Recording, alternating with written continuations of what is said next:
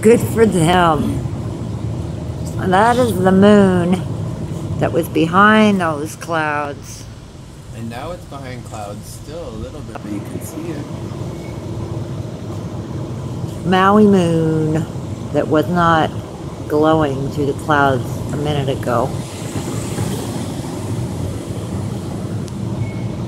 Oh, now look, this cloud's going in front of it, but there'll still be a glow, right? Let's see.